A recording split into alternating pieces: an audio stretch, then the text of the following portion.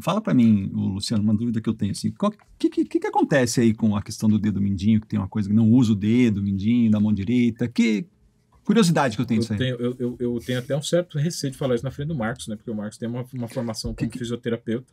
Pois é, então. Ah. E ele vai, ele vai poder dizer isso com muito mais propriedade o que do que, que eu. rola? Assim, se você ah. for olhar, se a maioria das mãos, ela tem o dedo mindinho abaixo da média dos outros três dedos, né?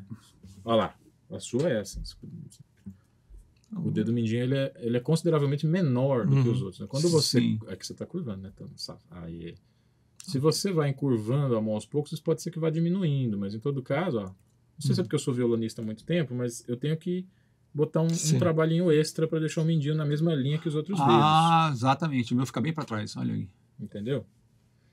Então, quer dizer, quando você coloca a mão direita no violão, né, o dedo mindinho ele fica meio. Ele está mais alto. É, ele fica. Uhum, uhum. Isso não é, não é costume, não, viu, gente? Eu acho. Quer dizer, o ovo ou a galinha. Assim, eu não sei se é por causa da prática. Né?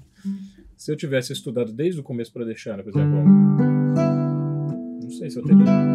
Se eu teria condição de ter um som legal com esse dedo, né? Porque os pianistas usam. É, pois então, aí você tá... E a gente usa na mão esquerda. A gente usa na não, mão esquerda. Ele trabalha total. Né? Ele não é o melhor dedo, obviamente. Uhum. Vai fazer uns ligados aí com o mindinho, você é. vai sofrer. É. Mas ele tá lá, ele pode ser usado. A gente dá um jeito de curvar mais o indicador, o médio, né? Então. Você faz um ajuste de altura. É. E esses é. caras antigos que a gente estava falando, Sora. Pô, nem o anular usava. Eles não. Não, Sora não usava anular. Tem um estudo do estudo Opus 6, número 11 que a gente toca assim, né? Polegar, indicador médio, ela toca na, a melodia. Provavelmente o que ele fazia era isso. É o pessoal do country americano. Só polegar, indicador médio. Isso. Entendeu? É, só que. Aquela técnica de banjo que usa até um. É. Que esses dedos realmente são os melhores, então, né? É, é. E são mesmo, né? É, anatomicamente falando, você pode ver que a gente tem uma baita liberdade aqui só que quando você ah, tenta mexer não, o anelar, com certeza. O, o mindinho mexe junto. É muita restrição uma, de movimento. É. Ligamentar, eles têm uma união. Não é o mesmo tendão para o médio anular também? Então, não me lembro exatamente.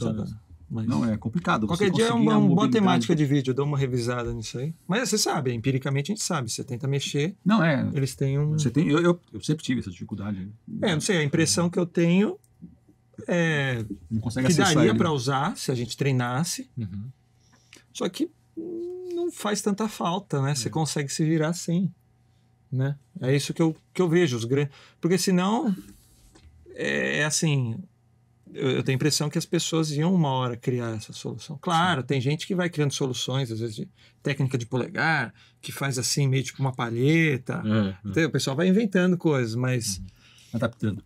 A média dos grandes violonistas, porque a gente também se baseia muito... Sim no que os caras bons fazem é. ou fizeram, você fala, pô. Eles não usam isso. É, eles não, não é muito frequente você encontrar violonista, tanto na música popular quanto na erudita. O ah. Mindinho, ele não é. Às vezes aparece um cara, outro dia eu vi um cara que.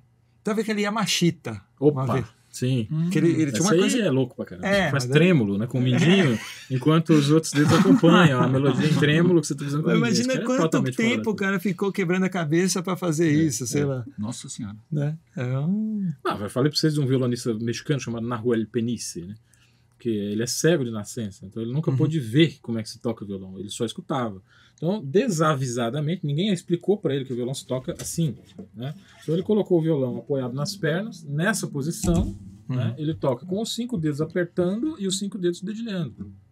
Ele não, não, faz essa separação, ele usa todos os cinco dedos no violão, pressionando as cordas. Você Se você gostou desse corte, você pode assistir esse podcast inteiro, clicando aqui no card, ou você pode ouvir na sua plataforma de áudio preferida através dos links aqui na descrição.